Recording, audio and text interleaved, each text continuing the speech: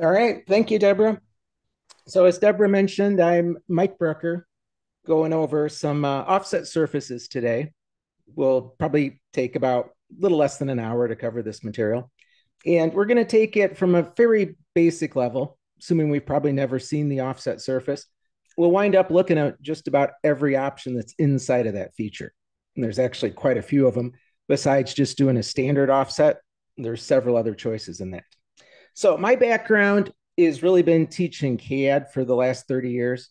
Of course, PTC products like ProEngineer and Creo. Also teach some of the Dassault products like CATIA. And I've been doing that uh, since the uh, early 90s at various companies, or teaching to various companies, working for a consulting company called Rand. Coming to you from uh, just south of the border in uh, Crystal Lake, in between Chicago and Rockford. And uh, knowing that we have a lot of material to cover, I think we'll uh, just dig right in here. So let's start with my screen. And before I go any further, just can somebody confirm you can see my Creo screen all right and the audio is good? I can see it. You can see it and you can hear me yep. okay? Okay. Yep. All right, so uh, for these offset surfaces, I'm going to start with a couple PowerPoint slides, explain what's in the offset, what some of these other options are besides just doing a standard offset. Now, generally speaking, the offset is going to take a surface. Now, that could be part of a quilt, could be part of your solid geometry. It's going to take a surface or a solid face and make a new surface, offsetting away from the existing one. Now, besides doing that standard offset, we're going to see there's lots of other options inside of that particular feature. But before we get into the offset, I want to show you a selection technique. Now, if you've seen this uh, and you've used it, this will be a review. But if you haven't seen this, it's a very handy little tool anytime you need to pick a bunch of adjacent surfaces. And really for any reason. Maybe you're picking those surfaces because you want to copy them or thicken them or offset them, exclude them out of a shell, maybe just change the color of them. If you're looking to pick a bunch of adjacent connected surfaces, one way to do that is to hold the control key and pick every one of them. Of course, that's going to be the slow way. If there's hundreds of them, you'll probably miss one by mistake or pick one that you didn't mean to. There's a selection technique in Creo called the seed and boundary. It's almost a secret because there's no menu pick for it. Creo never really mentions that you can do this seed and boundary. You just need to know what the technique is, and that'll save you a lot of effort anytime you need to pick a bunch of adjacent connected surfaces. To do this seed and boundary, you're going to start by picking one of the surfaces you're trying to select. In my example, I want to pick all the inside surfaces of this container. So I start by picking any one of them. And it really doesn't matter which one I start with, maybe the uh, sidewall there. That's going to be referred to as the seed, the surface you pick. What gets selected in this process is the seed you start with, plus every surface that touches that seed, plus every surface that touches that bigger set, up to and not including boundaries that you pick while holding the shift key. Now, in this example, all those inside faces are bounded by that one surface on the top. So I just need to pick any one of the inside faces as the seed. Then I need to hold the shift key. So not the usual control key, but the shift key this time. And as I'm holding the shift key, pick as many boundaries as you need to. That boundary is going to stop the seed from growing into the adjacent surfaces. It's going to stop at the boundary and not include the boundary as part of the selection. So with just two mouse clicks, I can wind up picking all those interior surfaces. You pick one as the seed, you hold the shift key, pick as many boundaries as you need to, let go of the shift key, and it picks the seed, everything that that seed was touching, everything that entire set was touching, up to but not including the boundaries. Now, of course, depending on what you're trying to pick in the shape of the model, you might need more than one boundary. In this example, all those inside faces were bounded by one surface. So with just two mouse clicks, I was able to pick those. And again, this is not really a command I start. I don't need to tell Creo I'm doing a seed and boundary. There's no icon or menu pick for it. I simply just go to the model, click on one of the surfaces, hold the shift key, pick as many boundaries as I need to. And that can be used anytime you're picking a bunch of adjacent connected surfaces for any reason. Maybe you're going to copy them, maybe you're going to offset them, change the color of them. that seed and boundary is an efficient way to pick up. Now, to build a new surface, by taking an existing surface or an existing solid face and make a new surface as an offset, you can build this feature called an offset. And when you start the offset feature, Creo is going to default to what's called the standard offset. The standard offset is going to make one new surface by offsetting the existing one. Now, where you can run into failures here, the most common reason an offset's going to fail is because you're offsetting to the inside of a radius by more than the radius. The radius that you're offsetting to the inside of is typically the limiting factor on how far you'll be able to offset. Once you reach the radius dimension on the offset, you've gone to zero on the radius. Any further than that, it's going to overlap on the other side and fail. So the standard offset is going to allow you to pick either one surface, one quilt, or one solid face.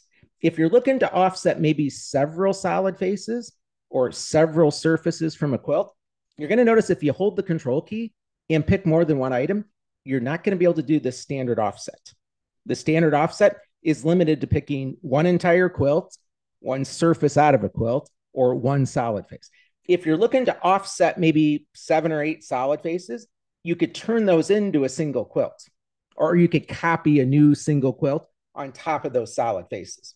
So if you're looking to offset multiple things at the same time, you would have to select them either with the control key or maybe that seed and boundary selection, copy them, and then just paste a new quilt on top of it. That new quilt is one item, and you would be able to do the standard offset on that one single item. Now, when you're in the offset feature, the standard offset is going to take the shape that you're offsetting, offset it to one side or another at a linear distance. You just type in the linear offset value. When you're offsetting to the inside of a radius, that radius gets smaller by the offset distance. And again, that's typically where you're going to hit a failure when you're offsetting to the inside of a radius by more than that radius value. In this picture, I start with this green surface and the smallest radius is up here on the top. And let's say it's about 25. So if I build a new standard offset surface, offset to the inside by 25, I would expect it to work right at 25, but that radius is going to disappear on the inside at that point when you offset by the rate is when you offset by the radius value. If I were to make that offset any further, it's going to overlap on the inside. The radius goes past zero, and that's where you're going to expect the failure. Now, maybe I want to look at that green surface before I offset it and figure out what the minimum radius is.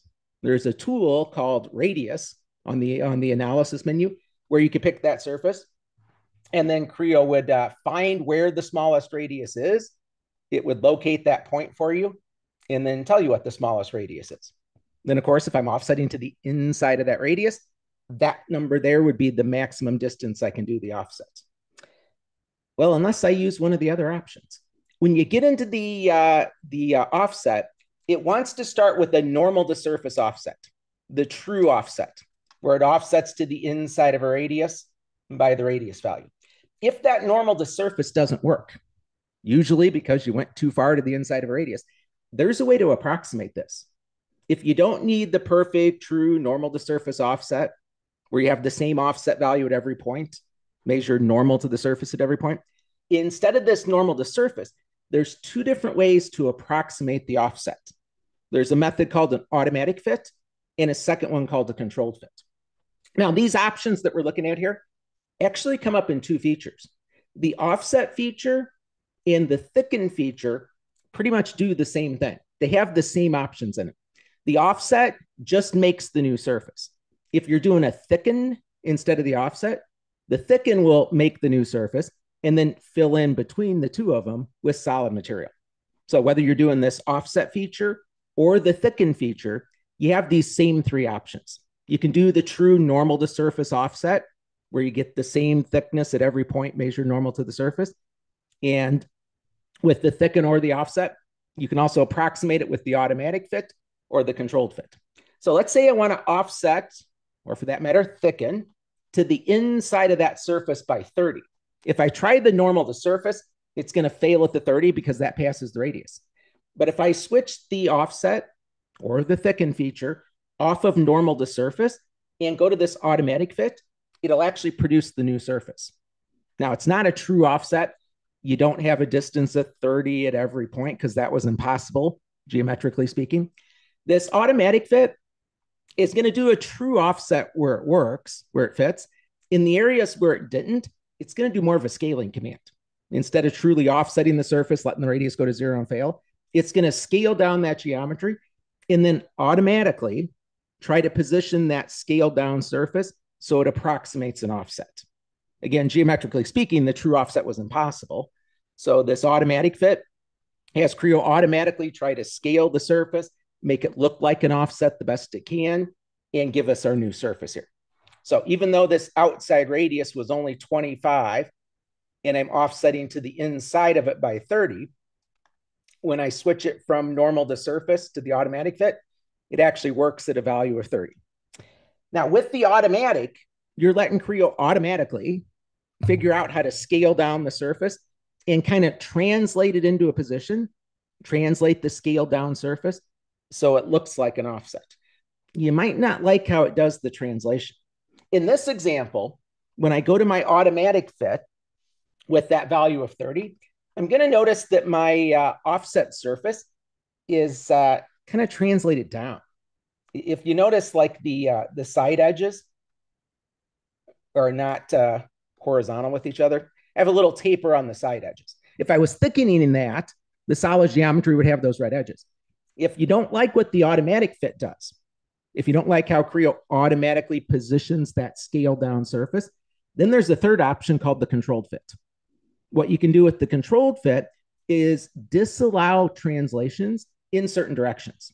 In that left-hand picture, I don't like how Creo translated my offset surface downward.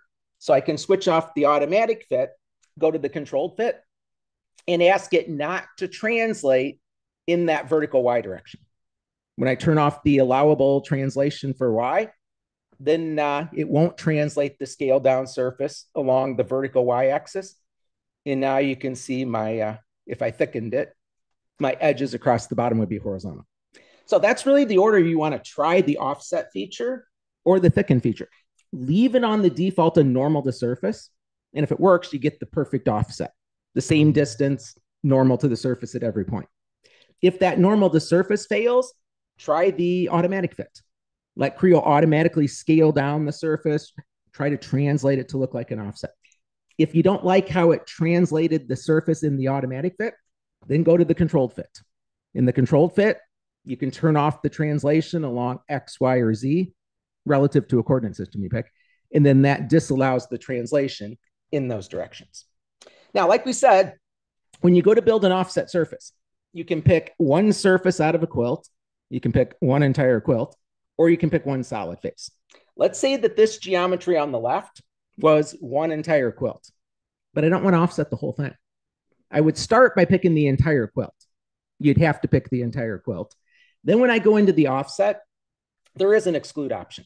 When I get into the offset feature, I could ask Creo to exclude these three surfaces out of the quilt, and then it's going to offset the other ones.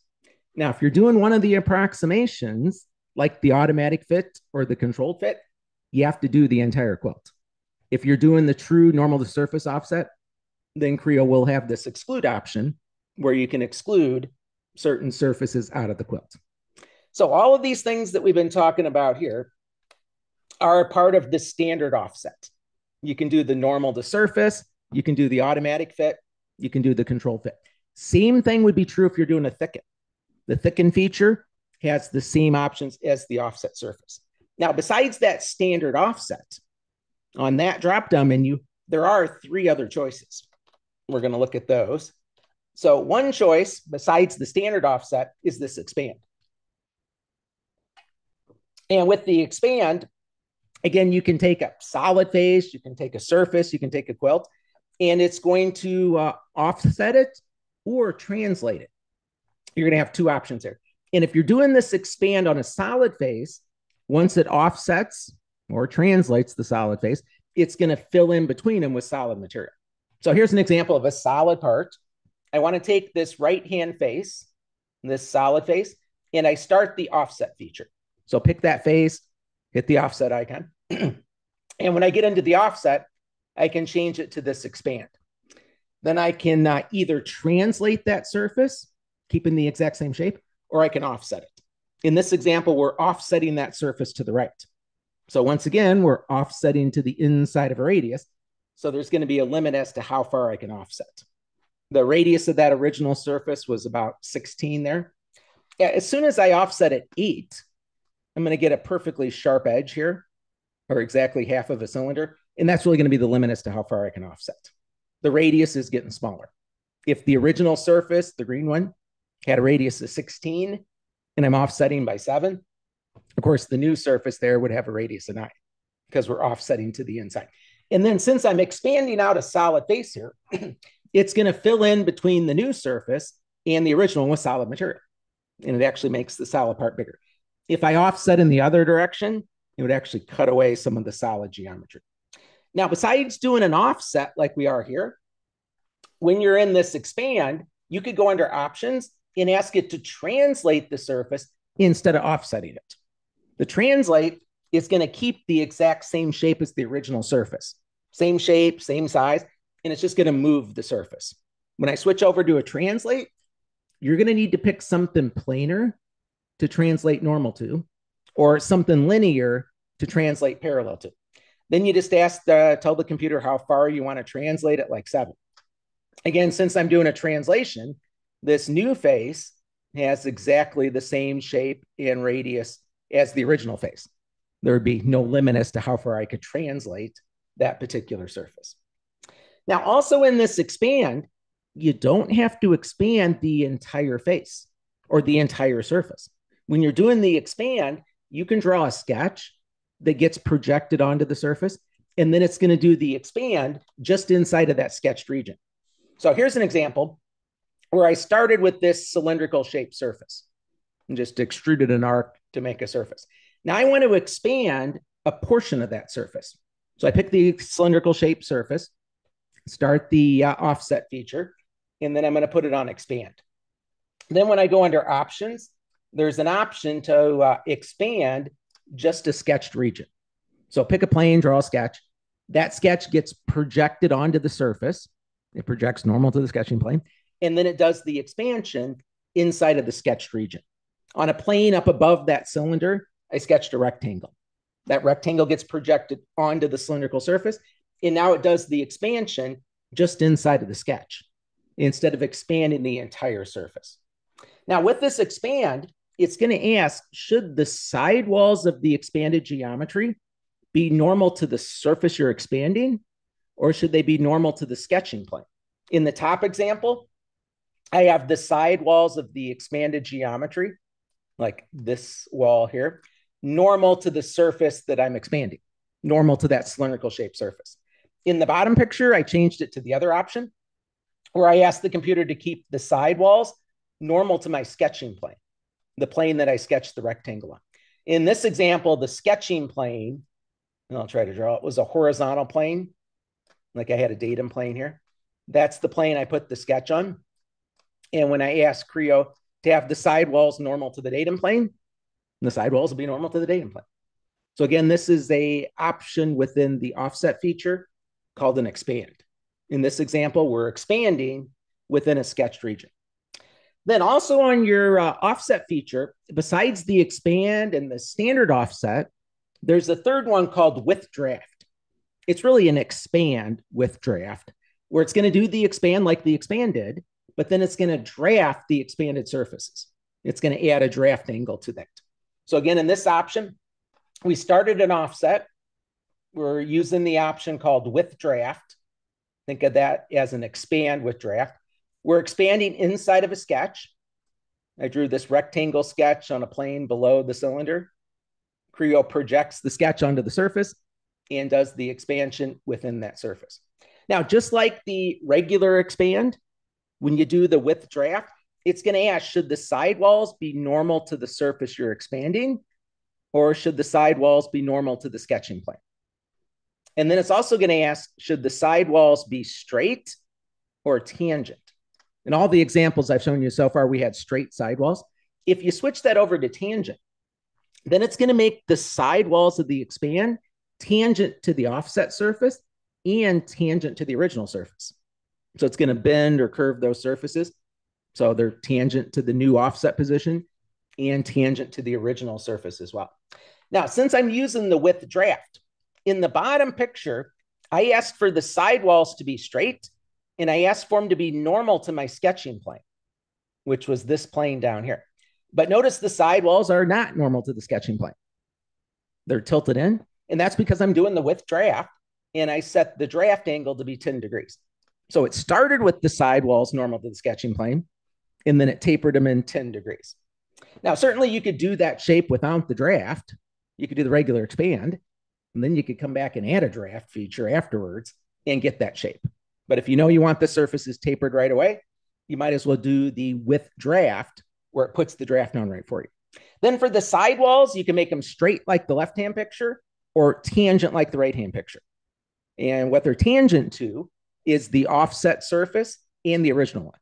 They'll, all the uh, all the adjacent surfaces will be tangent with each other. Now, besides the standard offset, the expand in the with draft, there's a fourth choice on that menu called the surface replacement. The surface replacement is going to let you select a solid face from the model and replace that solid face with the surface or with the quilt, making the solid take on the shape and the position of the quilt or the surface that you replace with. So in this example, the gray geometry is all solid. The bluer geometry is the surface. It's one single quilt. And now I'm going to do a replacement. I'm going to start by picking the solid face that I want to replace the shape and position with. I'll pick the top of the cylinder, start an offset feature. And now when I get into the offset, instead of a standard offset, which would be the default, I'm going to switch it to a surface replacement. Then Creo's going to ask which surface or which quilt do you want to replace it with? In that top example, since my quilt is down below the solid face that I'm replacing, it winds up cutting away all the solid above the quilt. You could actually get the same shape with the solidify as a cut, but here we're doing a surface replacement, which is a command within the offset feature. Now in the middle picture, I'm still replacing the top face of the cylinder, but this time I moved my surface quilt up higher. So now it needs to add a bunch of material to make that solid face take on the shape and the position of the quilt that you're replacing with. And then this replacement can be kind of a unique feature in Creo in that it can actually add and remove material at the same time. In the bottom picture, part of my quilt is above the solid face that I'm replacing on the back side of the part, and part of the quilt is buried down in the solid. So when I replace the top of the cylinder with that surface quilt, it needs to add geometry on the back side of the part in that area back there. And then it needs to remove some geometry on the front side. It's going to do whatever it needs to do to make the uh, solid face that you're replacing take on the shape and the position of that surface quilt. So again, we have four options within the offset. You have the standard offset. There's one called expand, another one called with draft. It's really an expand with draft. And then that fourth option was the surface replacement. So to see all those, I have several examples for you. In one second while I drink my water. So let's start by taking a look at how that seed and boundary works. Anytime you need to pick a bunch of adjacent connected surfaces for any reason at all, you can use the seed and boundary. Again, it's not a menu pick. You don't need to select an icon. You don't need to tell Creo you're doing a seed and boundary. Just start by picking one of the surfaces you're trying to select. Here, I'd like to pick all the inside surfaces of this container. So pick any one of them. Not really matter which one you pick here. I'm going to start with that surface. Then to have Creo pick every surface that touches that one as well, every surface that touches that bigger set up to but not including a boundary, I need to uh, hold the shift key now and pick my boundaries. So with the shift key, not the typical control key, with the shift key, I'm going to pick this top surface. And then as soon as I let go of the shift key, Creo picks the seed, everything that was connected to the seed, everything that was connected to that, up to, but not including the boundary. So with just two mouse clicks, I was able to pick all those inside surfaces. Again, uh, if I start over, maybe I pick this surface as the seed, hold the shift key, pick that surface as my boundary, let go of the shift key. All those inside surfaces get selected. Now, depending on what you're trying to pick and the shape of the model, you might need more than one boundary. With the cut in the back wall, if I want to pick just the inside surfaces, I would now need four boundaries this top surface and all three sides of the cut to stop the seed from growing and connecting to the outside of the part. I would need four boundaries. So let's pick maybe this surface as the seed. And then with the shift key, I'll pick my four boundaries. I think I'll start with the hidden surface. I'm holding the shift key, put my cursor here. Now, that's not the surface I want. I want the one behind it. So I can right click. There's my first boundary, picked it with the left button. Still with the shift key, this is going to be my second boundary. This will be my third boundary, still holding the shift key. This will be my fourth boundary. Then when I let go of the shift key, winds up picking all those surfaces. Now, maybe I uh, miss the boundary. Maybe I don't notice that hidden surface. Let me start over by picking off the part here. I'll select a seed. Maybe I only pick the three visible boundaries. With the shift key, I'll grab one boundary here, second boundary on that surface, and a third one up here. Missing that hidden surface, that allowed the seed to connect across the uh, missing boundary and get the outside of the part. So it wound up selecting all those outside surfaces. If you miss a boundary, you don't actually have to start over. You can just go back to the shift key. Noticing it selected way more than what I wanted because I missed a boundary. I just go back to the keyboard, hold the shift key again. I'm now holding the shift key again. And I can add in the fourth boundary that I needed, let go of the shift key. And it wound up picking all those inside surfaces. Again, anytime you're picking a bunch of adjacent connected surfaces for any reason at all, here I just wanted to color them. You can use that seed and boundary selection technique. Now, as far as doing an offset surface, we're going to notice we're limited to picking one item, either one surface, one entire quilt, or one solid face. If I were to pick this solid face, one item, I would be able to go to the model tab and do this uh, offset feature. The standard offset is going to make a new surface by offsetting the one that I selected. Of course, when I'm offsetting to the outside like this, there's really no limit as to how far I can go. But notice what happens if I try to pick two solid faces. If I go to the model, pick this surface, and with the control key, a second one. Now when I start my offset feature, put it on the standard offset, it only offsets the second one you picked, or the last one you picked. The offset is limited to picking one solid face one surface of a quilt or one entire quilt. So if I really wanted to offset those two faces with a single offset, I would need to make a quilt on top of those. So what I would need to do in that case is pick this solid face, hold the control key, pick the other one, right click and copy those two solid faces, then right click again and paste a new surface quilt on top of it. There's a new surface or a quilt as we call it. And then I could offset the entire quilt. But notice when I come over the quilt, it highlights just one piece of it. Now I could pick the one piece and offset it. I want to offset the entire quilt. To get the entire quilt selected, I can just right click and now it picks the entire quilt. Or I could put my selection filter on quilt and pick the entire quilt easily. Then I can go to the offset and it takes that entire quilt and offsets it to the outside. So if you want to offset a portion of a quilt or a bunch of solid faces, you would first have to copy those, paste a brand new surface quilt on top of them. Then you could do the offset on that entire surface quilt. Now let's look at the uh, main limitation of doing an offset. And that's offsetting to the inside of a radius by more than the radius.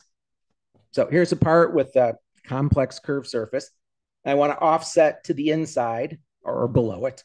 And before I do that, I'm interested in knowing how far could I get the offset to go? It's really going to be the minimum radius. And Creo can find that for you. It can locate where that minimum radius is and even tell you what the value is. On your analysis tab, under inspect geometry, you have this radius tool. That's where you can pick a surface or a solid face, and it'll find the smallest radius for you. And it tells me here that smallest radius is right at this point and it's about 106.7. So if I offset to the inside by 106.7 or less, I expect it to work. If I go more than 106.7, I would expect a failure. This radius tool finds the location of the smallest radius and tells you what the number is. Now to offset this one quilt, I can pick the quilt. In the mini toolbar, I could start an offset feature. And as I drag that offset to the inside, I expect it to work until we hit 106.7. So as I drag it, you know, to 105, I see the preview, it's working. If I drag it any further than that, like to 108, it fails. If I put that at exactly 106.6, it works. If I take the offset, put it at 106.8, we're going to get the failure. So we've already determined where it's going to fail by finding that minimum radius. Now, maybe uh, you, you want a little bit more help. You want the computer to really visualize where the problem is. There's another tool, another analysis tool called an offset analysis, where it's going to offset the surface, show you this grid or this mesh surface. And even if that self intersects, it's going to be able to produce it. So I can do an offset analysis. I can offset to the inside of that radius by more than 106.7, and I'll be able to visualize where that surface self intersects. So if you're having trouble figuring out what part of the surface is causing the failure, doing this offset analysis is, is very useful. Also, if you're trying to do a shell, the shell is going to fail for the same reason as an offset because you're going to the inside of a radius by more than the radius. But the shell doesn't really have any tools at all to help you figure out what's wrong with it. Nor does the shell have those approximation options like the offset surface does. So if I'm wondering why does 107 fail, well, then maybe I uh, should go and do this offset analysis. That's going to show you the surface, the offset surface, even if it self-intersects. When I go to this offset analysis, I can pick this surface to be offset. And even if I go all the way to 135, where the preview of my surface was failing because it self intersected, this offset analysis with the mesh surface is able to produce it. And then if I can zoom in, I can see right in here, all of that geometry loops back through itself. It self intersects. And that's where the problem was. If I take that to less than 106.7, like 103, then I can see the surface does not self intersect. It looks good there. If I bump it up to something bigger than 106.7, you can see we're getting a self-intersect. So if you're offsetting a surface or thickening something or shelling it and you're getting a failure, running this offset analysis can really help you spot what part of the surface has the problem. And we can see in this area right here where the smallest radius is, that's where we were getting that failure. So all of those are examples of that standard offset producing a new surface. Now let's look at one where my standard offset doesn't work the way I want it to. Let's look at this part. So here I've created a surface quilt and I want to thicken it. The thicken feature and the standard offset have the same options. You can do the true normal to surface. You can approximate it with the auto fit. You can also approximate it with the control fit. So I want to take this entire surface quilt. Let's put our selection filter on quilt, pick the quilt, and whether I'm doing an offset or a thicken, I'm going to see exactly the same options. I actually want to fill in between the two surfaces with solid material. So I'm going to do a thicken in this example. I want to thicken to the inside, the other side. I'll click on the arrow to uh, flip the direction. And I want a wall thickness of 0.04. So it does the offset, fills in between the surfaces with the 0.04 thickness. And now I have a solid part that looks like this. When I spin it around and look at the inside, you can see this radius is almost gone to zero. There's just a little bit of that radius left. So the outside radius was something bigger than 0.04. I think it was around a 0.06. But now I've changed my mind and I really want the wall thickness at a 0.8, which is bigger than the smallest radius on the outside. If I go back into that thicken feature with that at definition, change the uh, thickness dimension to a 0.8 and hit the uh, check mark to finish the thicken.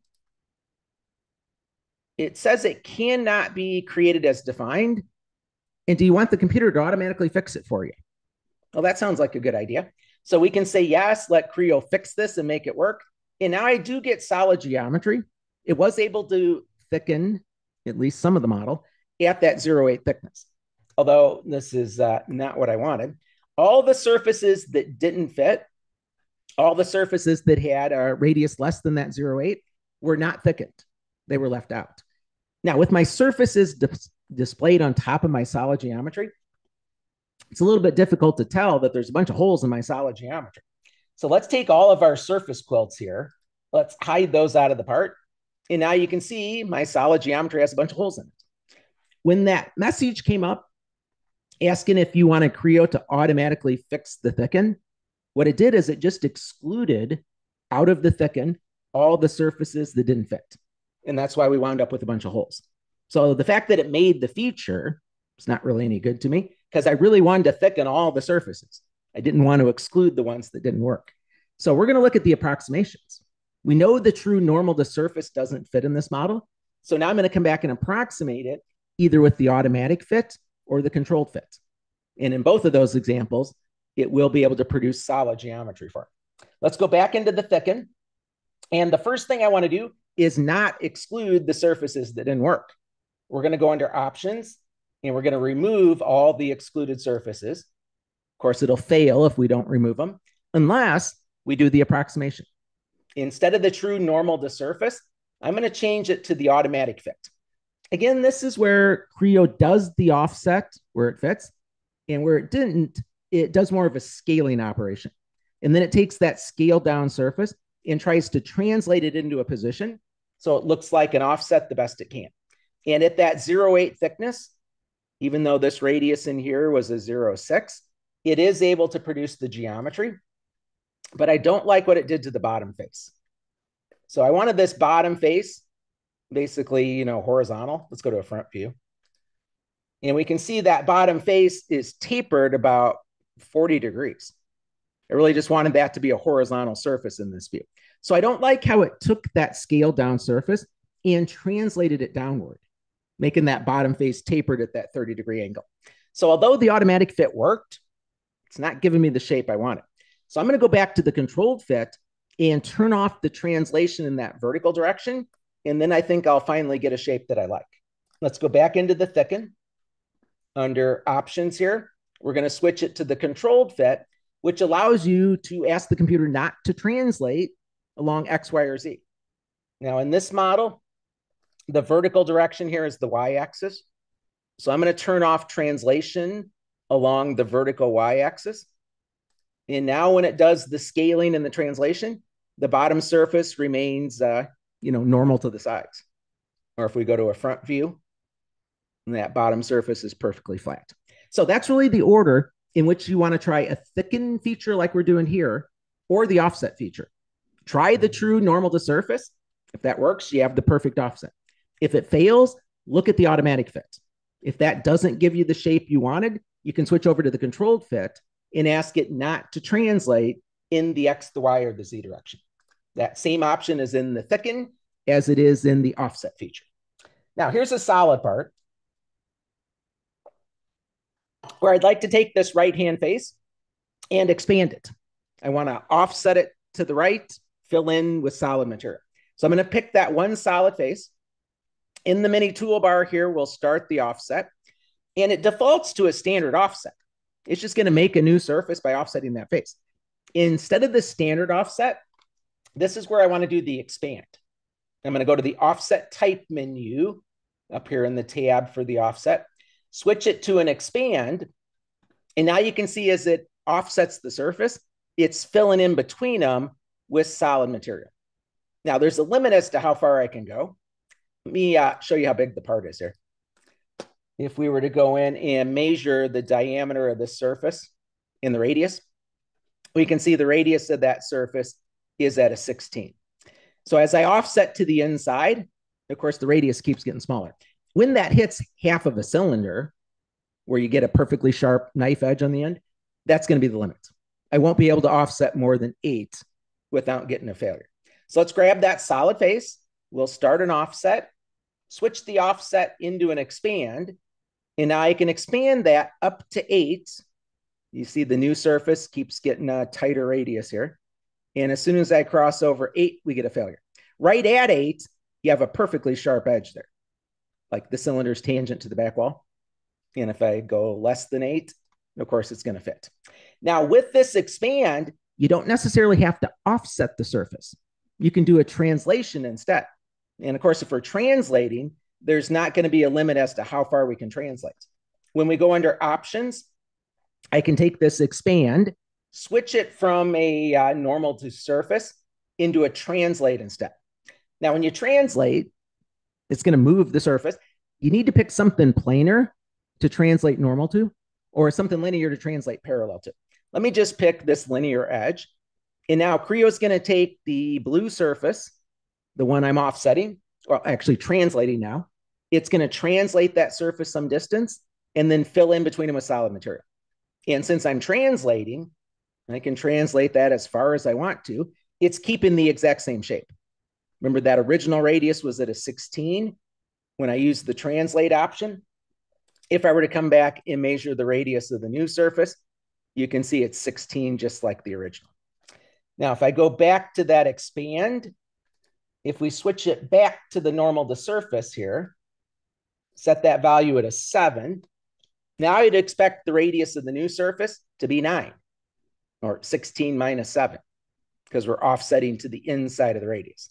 If we want to confirm that's true, we could go back to our diameter measurement and we can see the radius is nine or 16 minus seven. So that's the expand done on a solid face where it fills in between the new surface, either the translated surface or the offset one, and the original surface with solid material. Let's look at doing an expand just on an infinitely thin surface here. Let's take a look at this one. Or I just have this cylindrical surface. I want to expand a portion of it. I want to draw a sketch, project the sketch onto that surface, and do the expansion just inside of that sketch. So we're going to start by picking this surface. I'll start the offset feature, and it starts with just a standard offset. Let's switch that over to the expand. And now instead of expanding the entire surface, I can do the expansion within a sketched region. I'm going to define a sketch, let's say on this datum plane. Go into Sketcher here. I'm going to sketch uh, just a rectangle somewhere, oh, about like this maybe. Creo is going to take that rectangle, project it up onto the surface that you're expanding, and then it does the expansion just within the rectangle or just within that projected sketch. If we go to a front view here, you can see the side walls of the expanded geometry are vertical or normal to my sketching plane. If you'd rather have the side walls of the expanded geometry normal to the surface you're expanding, well, just switch it over to surface. Now the side walls are normal to the surface. If you want it to go the other way, you could use a negative dimension or just hit the flip icon and it'll offset on the other side. Of course, going downward, there's a limit as to how far I can go in that direction. So there's your offset. So it's actually, this one's called an expand doing the expand within a sketched region. Then we have the one called with draft. It's really an expand with draft that takes the expanded geometry and adds a draft angle to it. To see an example of one of those, again, I have a cylindrical surface.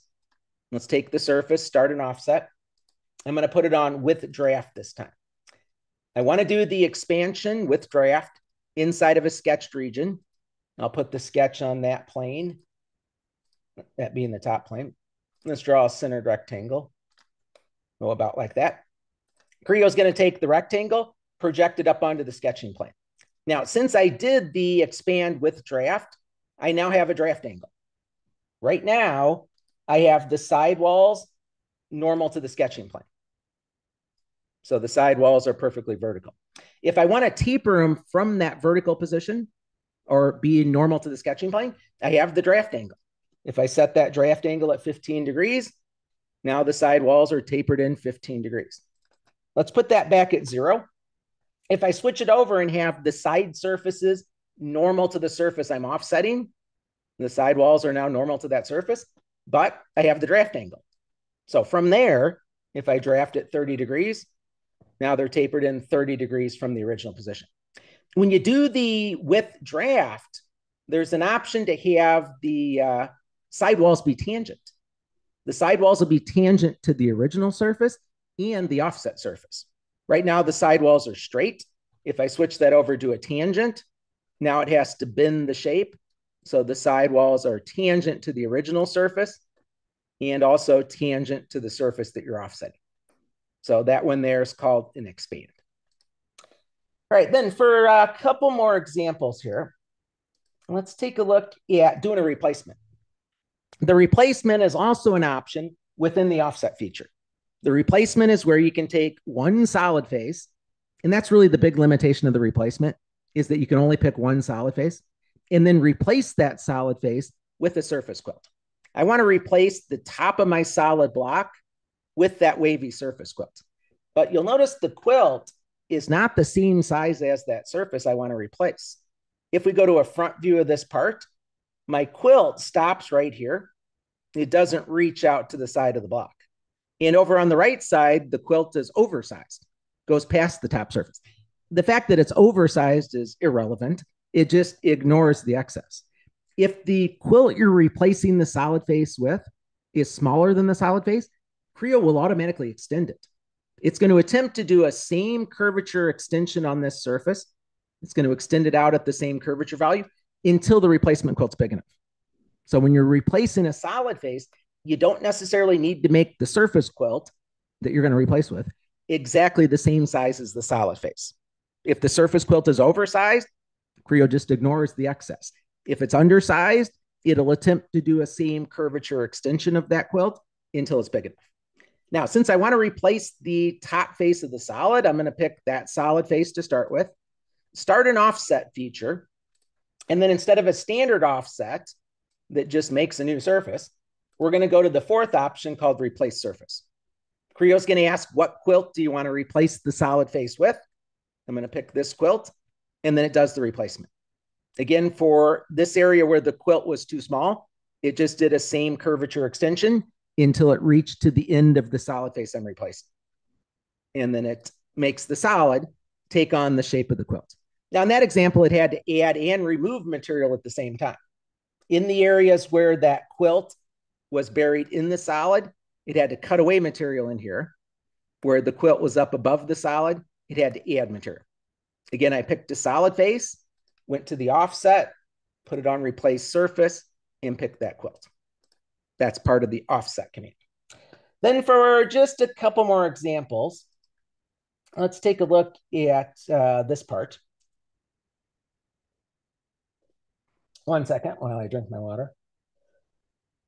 Where I want to uh, engrave or cut down into the into this top face or into that surface, this recycling logo.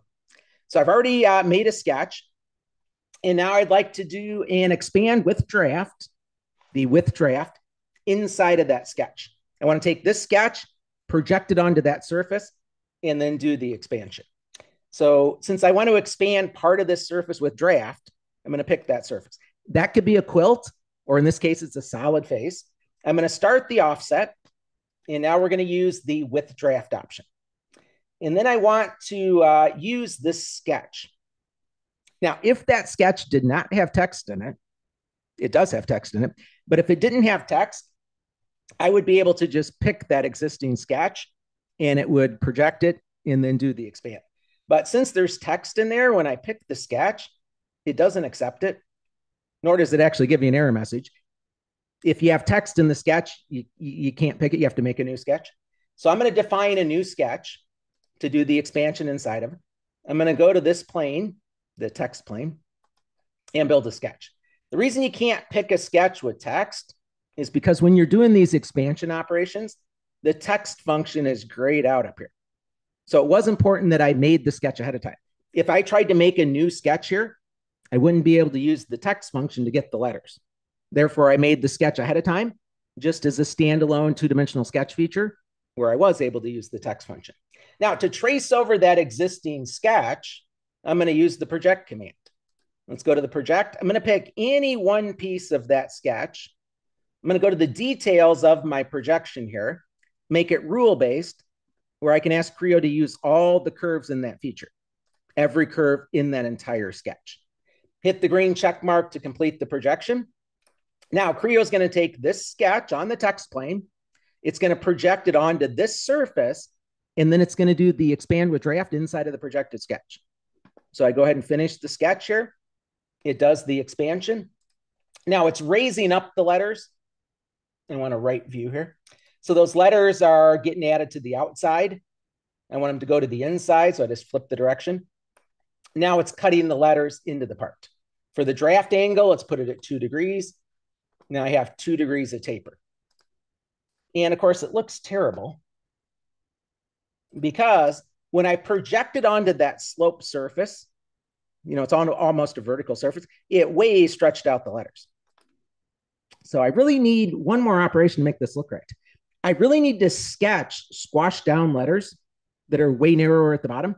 So when they get projected onto that vertical surface, they don't get stretched out. I really need to do an intermediate operation in between my expand with draft here. That being a wrap.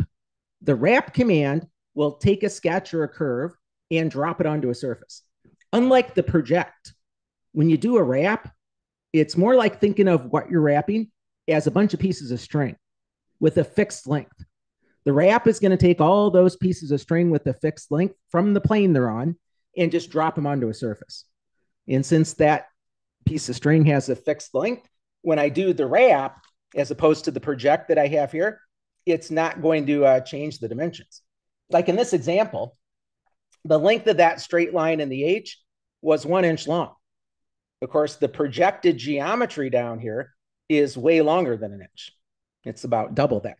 If I do a wrap to get that image dropped onto the surface, then we won't distort the shape of the letters. So let's take the offset that we've done here. Let's delete it. And before I do the offset, I need to know what that squash down sketch needs to look like. So we're going to take the original sketch and we're going to wrap it onto this surface. Let me pick the original sketch. In the editing group here on the model tab is your wrap. And it's basically going to treat this sketch as a bunch of pieces of string with the fixed length. It's going to pull the plane out from under them and just let those pieces of string fall onto the surface. They fall normal to the sketching plane.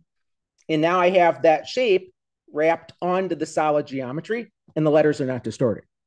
Now I know what the letters need to look like in the sketch for the offset. So we can pick the solid face, start an offset. We're going to use the with draft. I do need to make a new sketch here. I'll put that new sketch on the same datum plane. And I just want to trace over the wrapped letters. Going to give us a very funny shape up on the sketching plane. The letters are going to be way squashed down at the bottom, but that is the shape to make this look correct. I'll go to the project command, pick any one piece of my wrap here. Let's go to the details for the project, make it rule based, use all the curves in the feature, hit the green check mark. Now, if we go to our 2D view of the sketch, you can see I have these letters that are way squashed down at the bottom. So once the wrap projects them, they'll be stretched back out at the appropriate length. So I had to do this intermediate wrap to uh, get my offset to look the way I want it to. And then if we go to our right view, there's raised letters. If I want to go the other direction, just hit the arrow. I'll leave the draft angle at zero degrees. And now I have those letters carved into the solid geometry without distorting it.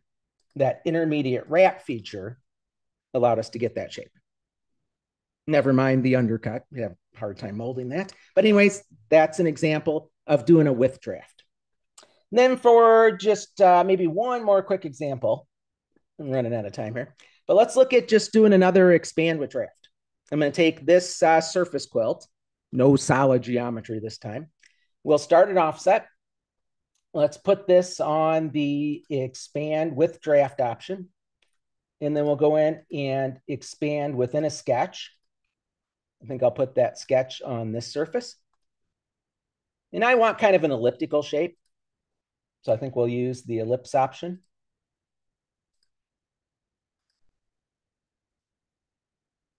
Draw an elliptical shape about like that. And now it's doing the expand within that shape. I want to start with the side walls normal to the surface and then taper them about 30 degrees from there. So for the draft angle, I'm doing the expand with draft, I can put in 30 degrees of taper. Now I want the side walls to be tangent to the surface I'm offsetting and tangent to that top surface as well. We're going to switch it over to the tangent option. And now it has to bend or curve the sidewalls to match that condition. And then in this model, I now want to uh, offset part of this surface. Don't need the draft this time. So we'll use the one just called expand. And what I want to expand is inside of a sketch I've already made. I have the sketch there with the plus and the minus symbol. So let's grab that surface. Let's start an offset. Don't need draft on this one. So we'll use the option called expand. And then I want to expand within a sketch. As long as the sketch doesn't have text in it, you can just pick an existing sketch. There's no text in that one. So I drew those with lines and we can do the expand inside of the sketch. I want to cut those down into the part. And now I have an expand, which is recessed down. So this is like the rubber overlay for your remote control. I want to put the word volume across here. Knowing that you can't sketch text within the offsets, nor can you pick a sketch that has text in it, I need to make that sketch ahead of time as a standalone sketch and then trace over it with the project command within the offset. So to show the word volume raised up here, this will be the last thing. Let's take that plane and just make a regular standalone sketch on it. Since I'm in a regular sketch, I can use the text function. For the text, I'm just going to type the word volume. Pick a font to use here, like this one. And then just adjust the dimensions so it fits on the part. Let's make the height of the letters about 24. I think a 12 would center them. A little bigger, maybe 74 on that dimension. So it looks like that's on top of the part. And I've made that just as a standalone sketch. To do the actual offset, we're going to grab this surface, start the offset, put it on the expand operation. And now I need to make another new sketch. We'll define that sketch on the same plane. And again, the reason I had to make the sketch ahead of time is because when I get into the expand, the text function is grayed out here. Not sure why they made it that way, but they did. So I'm going to do the projection, pick any piece of the sketch, go to the options for the project, make it rule based, get all the curves. And now it's going to do the expansion within that projected image.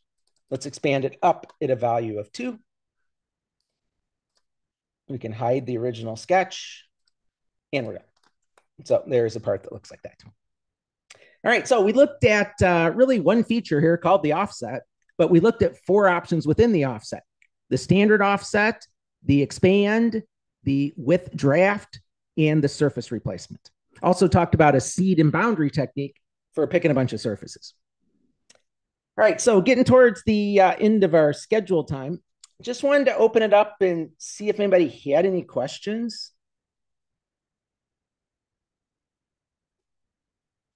On anything we talked about there. Now, realizing we went over those pretty fast, this has been recorded this will be posted. So if you want to, you know, slow it down and watch things uh, at your own pace, you will be able to view a recording. Uh, my one question I have. Sure. Can you hear me? Yes. Yeah. So you did the offset in the control fit and the automatic fit. So the thickness remains same all over the areas. No. For example, no. Not not not not not necessarily. So when you do the automatic fit and the controlled fit, it's going to vary the wall thickness where it had to. The true wall thickness was impossible. That's why we did the automatic fit or the controlled fit. So you do have a variable wall thickness there. Okay. Yeah. Thank, yeah. thank you. Mm, yeah. Yeah. And that one where I got the bottom to eventually sit flat, it wound up making certain areas way thicker than the number I typed in to do that.